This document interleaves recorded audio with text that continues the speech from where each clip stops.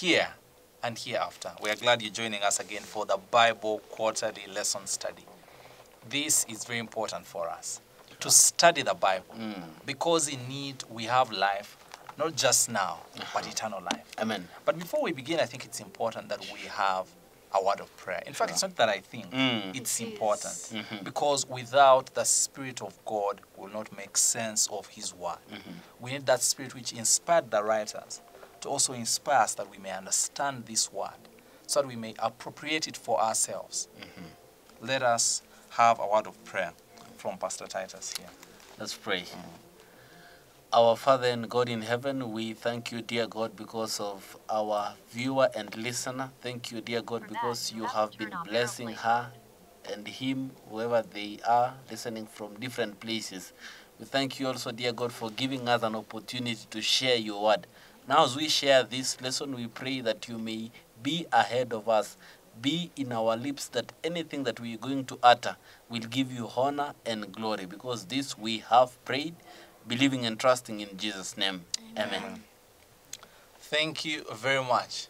Present truth in Deuteronomy Wow. is the lesson we've been studying, children of God, Mm. and we proceed. Mhm. Remember, we have been saying that the lesson is simply a guide to the Bible. The Bible is what we are studying. Wow. Now, as we study the book of Deuteronomy, Mm.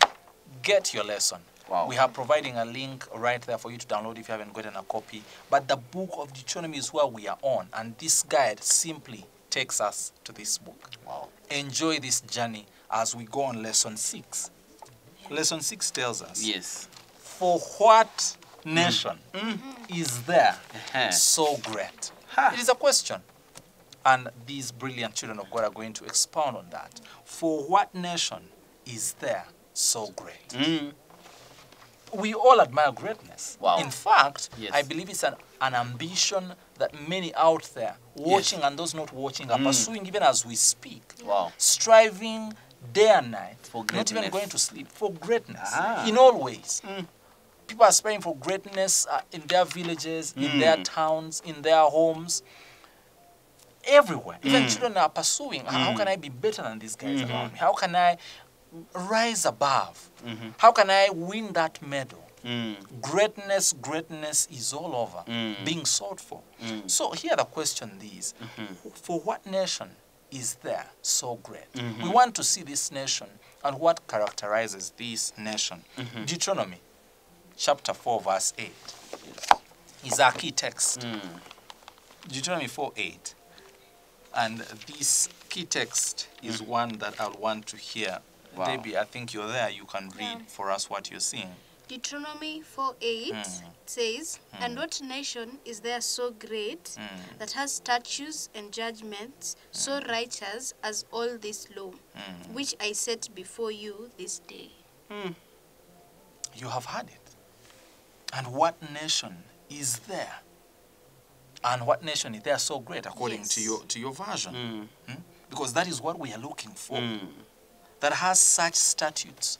My version says, and righteous judgment Mm. as are in this law, which I set before you this day. You see, in the book of Deuteronomy, Mm. from uh, chapter 1 to chapter 3, Yes. Moses has been recounting Mm. what the Lord had done for the children of Israel up to that moment. Wow. His greatness, His goodness, and His grace that had brought them thus far. Mm. And at that point, as He makes them recall, looking back what He has done for them, and just like you need to take time, like I need to take time, even in the evening, in the morning, in the day, and I pause and I ask God, Mm. look where you have brought me. I reflect on that. He's making them reflect on Mm. what he had done for them. Wow. And after he does that, now he sets the stage Mm. for where he wants them to think Wow. of, where they are going. Mm. But he says, I don't want you to think about that place Mhm. before I make you understand what will make you a prosperous and a great nation. So that is how chapter 4 comes about. Because Moses now is about to start making very critical statements Mm. on what will make Israel, Mm. what will make this a nation that will be admirable, Mm. a nation that will rise above all nations, Mm. a nation that is going to conquer for the glory of God, that the world may know who God is. Mm. And he tells them, look here, in the light of all that the Lord has done, Mm. this is what he requires of you. Mhm. Look at verse 1 of chapter 4. As Moses commands Mhm. obedience. Now, O Israel, Yes. listen to the statutes Mhm. and the judgments which I teach you to observe, Mhm. that you may live Ah. and go in and possess the land which the Lord God of your fathers Mm. is giving you. Wow. That if you Mhm. take heed Mm. to the statutes, to the commandments of God, Mm. you will live. Wow.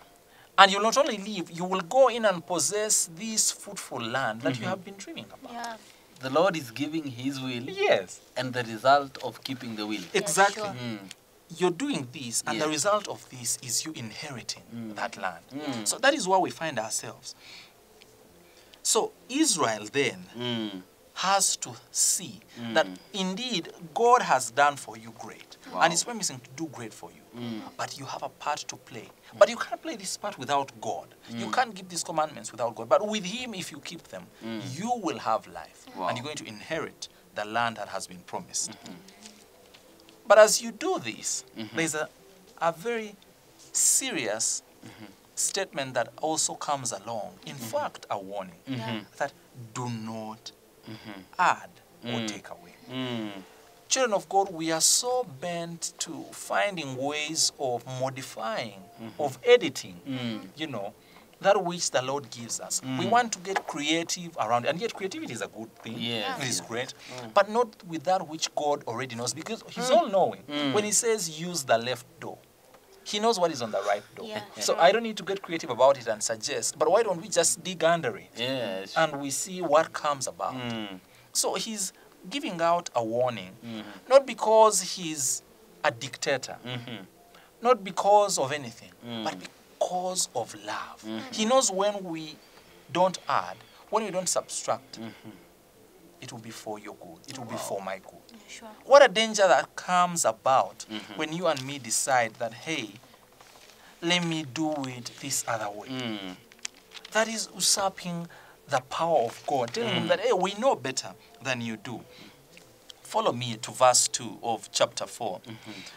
You shall not add to the word which I command you, nor take from it, Mm-hmm. that you may keep the commandments of the Lord your God, mm-hmm. which I command you. Mm-hmm. God is putting up a very stern warning, not because of anything, but because of love. Do not add or take away. Yeah, sure. I'm your all wise, all knowing, and all loving God who already has put it that this is good for you. So don't edit it, don't modify it. Mm. So when we think about the history of the children of Israel, Mhm. we see that they got into trouble mm-hmm. many, many times for ignoring mm-hmm. this mm-hmm. plain word of God. Mhm. By getting creative about it, in quotes, by deciding to do that which God had not given them or decided for them to do. And this is tantamount to everything other than greatness. Wow. Even in the days of Christ, Mm. we see him teaching. If you went to Matthew 15, which I'll not read, verses 1 to 9, and when he's approached by people asking questions, he tells them, Look here, the Pharisees have been in the business Mm. of taking the tradition that they put up, traditions of men, ahead of my commandments. Ah. Do not go that route. Whichever way men may look wise, they may philosophize Mm. and come up with statements that, yes, they excite us. Don't go after those statements. Wow. Or new laws, or new thinking or Mm. thoughts, but rather follow my plain word. Because he described them, which I found shocking, that they are blind guides Ah. leading the blind. Ah. How I pray that we do not end up having blind guides as leaders, Amen. As religious leaders. And then we also follow them blindly, Wow. all heading onto that cliff into eternal damnation. Mm. God is so careful mm. that we may also watch out so that we do not add mm-hmm. or subtract from that which He has given us. Exactly. Because when we do that, mm-hmm. we lose our uniqueness. Mm-hmm. We lose the greatness mm-hmm. that He has promised mm-hmm. that we may have. Mm-hmm. You may want to pick it on because it gets more exciting as we move on. Exactly. Yes. Yeah. Thank you so much, dear viewer. Now, Brother Joel Mutunji has given us a candid introduction of our lesson. And the lesson has a very interesting topic, as you have been informed. For what nation is mm. there so great? A question. A question mark is there. Now, the greatness in this context, dear viewer, is, meas- is measured uh, within the realms of allegiance to God. When the children of Israel stayed within the confines of the will of God, they were great. Any man who, who who alleges his success or who attributes any uh, victory in life to God is deemed to be great. The greatness of any Christian in the world that we have today is measured by how much he is or she is dedicated to God. That is why the question has been asked about Israel. Now we don't we don't want to get back there, but I want to continue and add to what our uh, our, our, our, our coordinators just began with and uh, getting to the book of Numbers, chapter 25, verse number 1 to verse number 15, we will not read all these verses, but there is an interesting narrative there uh, that is brought to us about the children of Israel. I will do justice for you to understand what we are saying by reading the first few verses of chapter 25 of Numbers, and it is talking about the prostitution of Israel Hmm. in Moab. And during, I mean, in the course of this narrative, you will get to hear or I mean, uh, get to be introduced to a ma- to some uh, god here, uh, who is termed by the name Baal Peor. I don't know whether that is the term that you would also uh, pronounce. Oh, yes, it uh. As you read your Bible, but it is Baal Peor. But we will still uh, go and research what is the right pronunciation. But that is the Baal that is found there. Numbers 25, verse 1, the Bible says, Then Israel remained in Shittim, and the people began to commit prostitution with the women of Moab. They invited the people to the sacrifices of their gods. The Bible says, Then Israel. Mm. I want you to mark those words, then Israel. Why does the Bible have to be precise on who is engaging in this unworthy act before God? Mm. Then you, dear viewer, God mentions you by your name. Then Brian. Then Sharon. Mm. Then Abigail. Then Joel. Then Joel. then Titus. Then Deborah. Then Israel remained in Shittim. Mm. And the people of Israel began to commit prostitution with the women of Moab. Mm. They invited the people to the sacrifices of their gods. And the people ate and bowed down to their gods. Terrible. Yet there was to be only one God to be bowed down to. Mm. Only one God to be worshipped, dear viewer.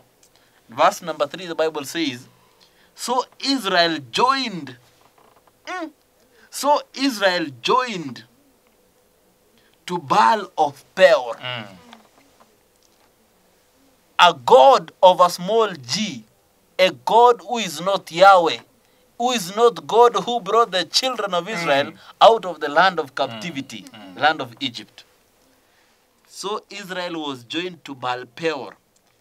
And you know, do you know what happened after that? The Bible says, and the anger or the anger of the Lord Mm. was aroused against Israel. Now, if the Bible has already mentioned that the Lord was angered, you just know what happens after that. I don't have to read. Because when God is angered, you see, we know God to be a long suffering God. Mm-hmm. By the time God is angered, that means it has come To the peak. here to the mm-hmm. peak. You see, God understands. God is long suffering. Mm-hmm. God winks in times of our ignorance. But when it gets to a time where the Bible says that then the Lord was angered, that means the Lord has been persevering for too long now. And he's saying, Enough is enough.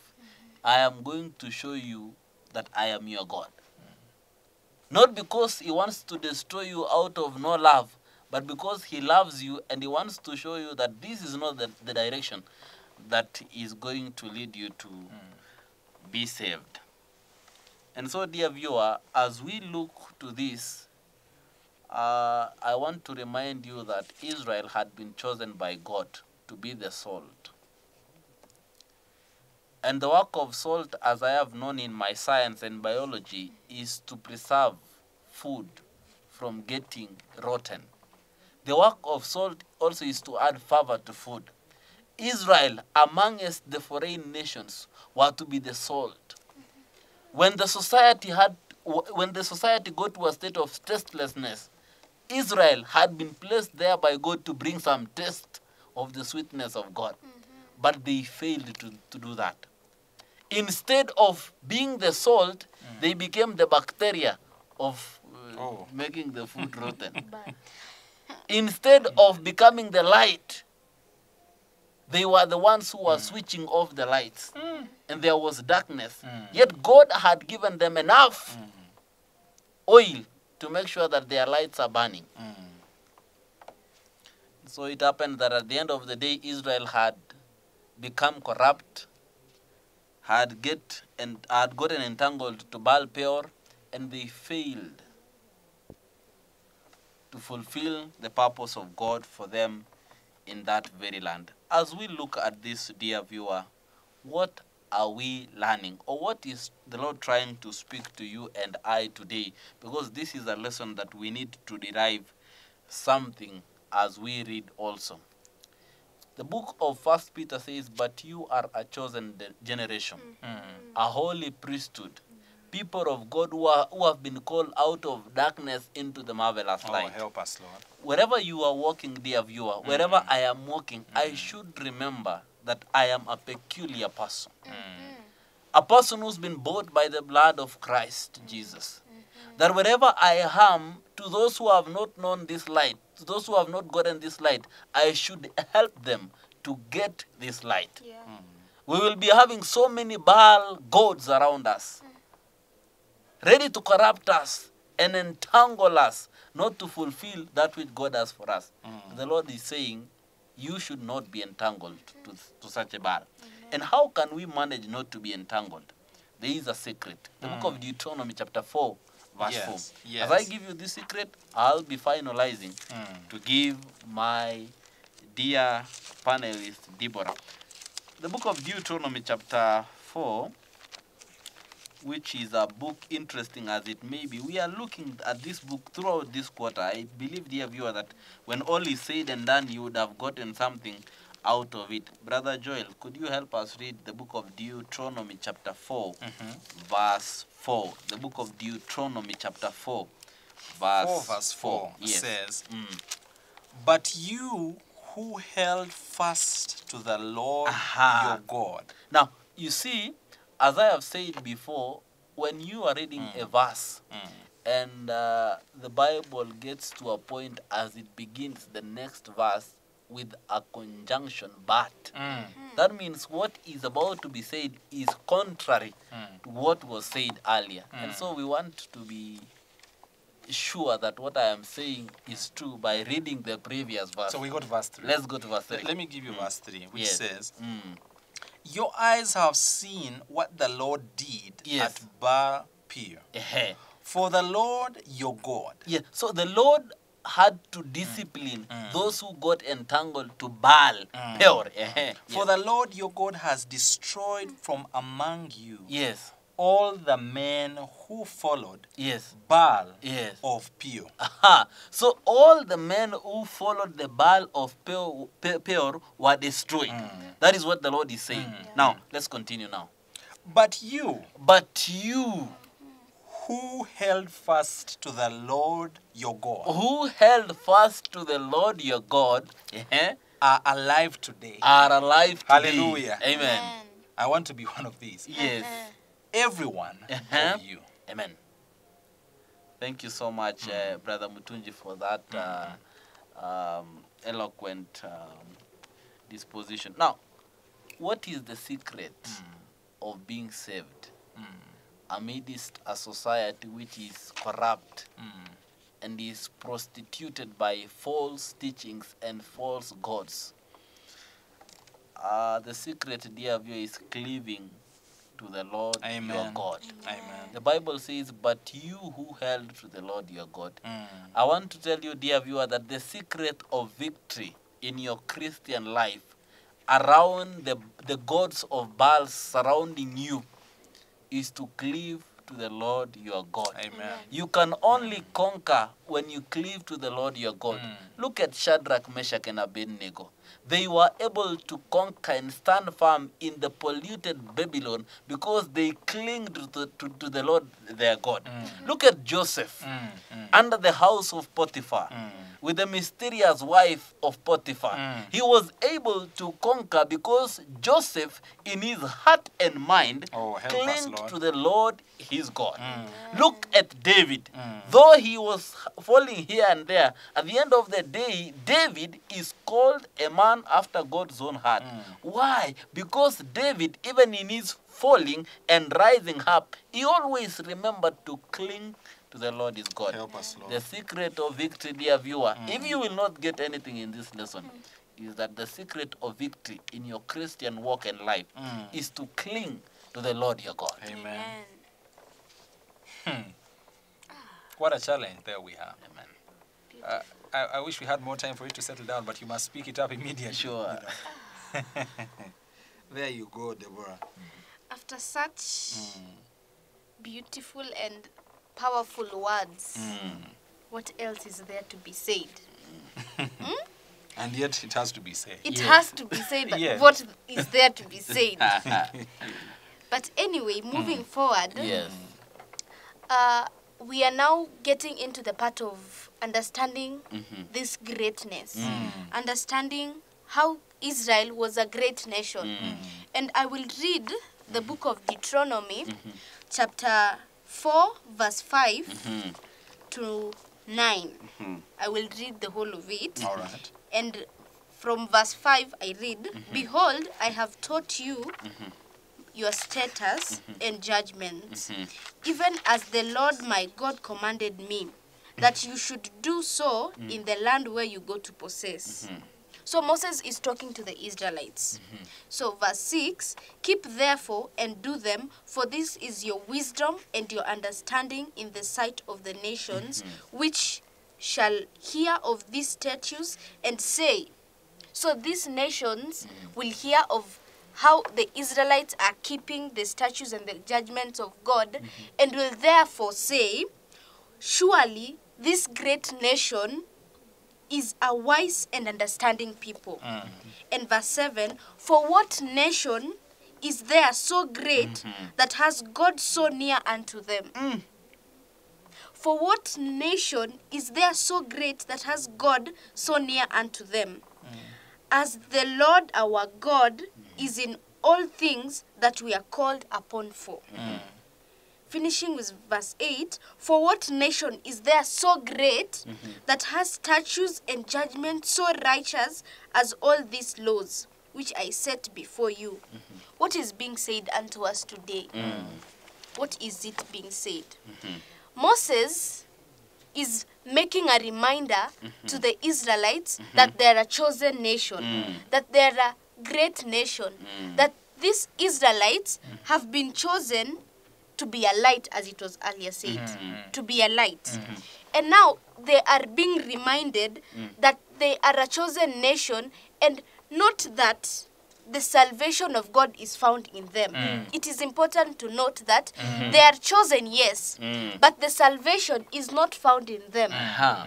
But that through them, Mhm. through them, the truth of the only God who saves, Mhm. the truth of the only God who saves Wow. is being revealed. Amen. Amen. Mm. So, us as Christians, mm. we are being reminded that we are a chosen generation, Yes. Uh-huh. a peculiar people. Oh, yes. So, therefore, mm-hmm.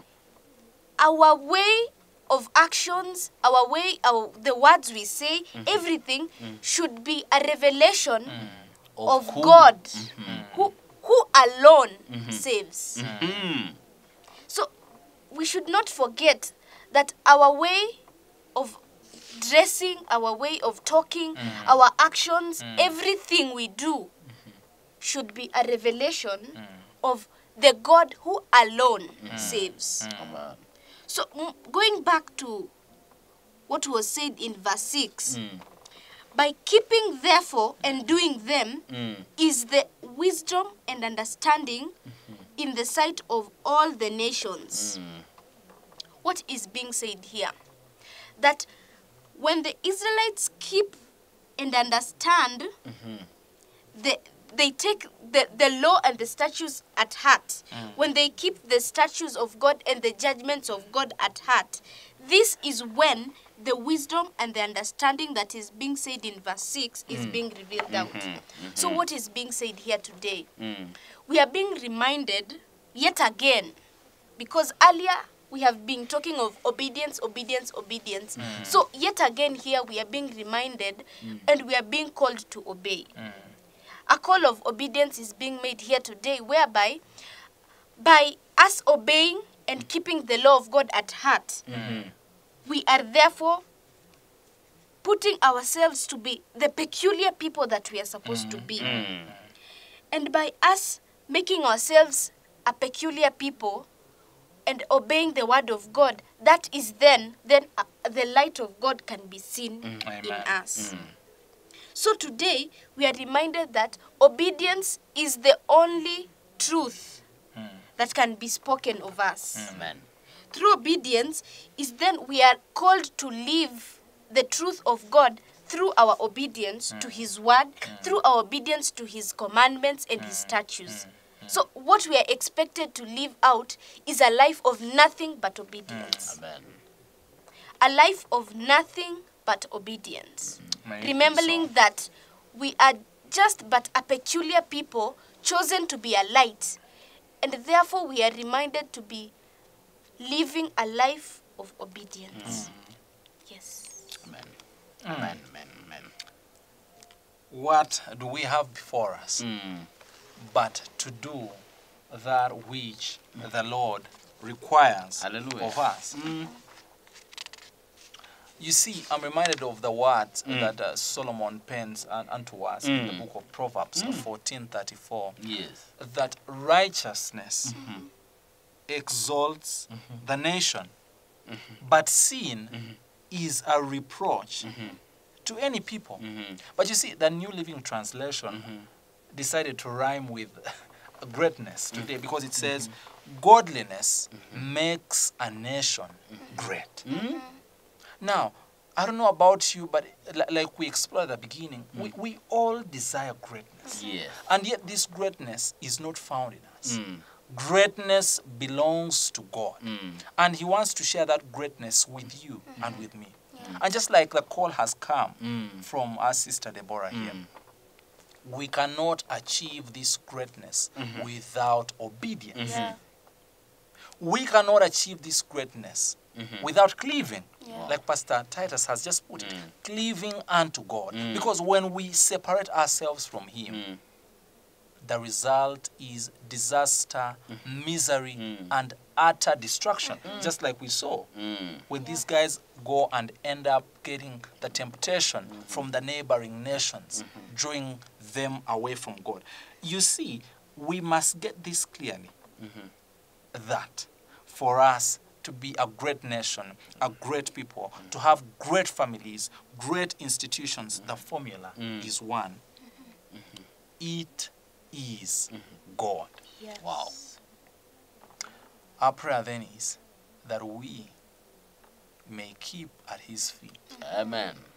that we may walk with him all the days of our lives, Hallelujah. that we may keep near to the mm-hmm. cross. Amen. Why don't you commit us to the Lord in prayer mm-hmm. that these things, as sweet as they are, Sure. they will be practical and mm. lived out in our lives. Amen. Amen. So let's believe and pray. Dear everlasting Father, we come before thy presence this moment, chief of sin as we are, we ask that you may forgive us all the things that we have done through all sort of thoughts and actions. Oh my Lord, I come before you asking that you may give us the strength to cleave unto you, dear Lord, mm. that you may give us the ability to stand by you at all times, dear mm. Lord, and mighty Father, that you may be able to continue reminding us that you are light, that in everything we do, dear Lord, may it bring glory and honor to your name, Lord Father. Father, Lord God, I come before you, also not forgetting that, Lord, give us hearts of obeying your will, dear Lord, that mm. at all times may we learn to depend on you each and every day, all for the glory and honor of your name, dear Lord. Mm. I pray this prayer, trusting and believing in Jesus' name. Amen. Amen.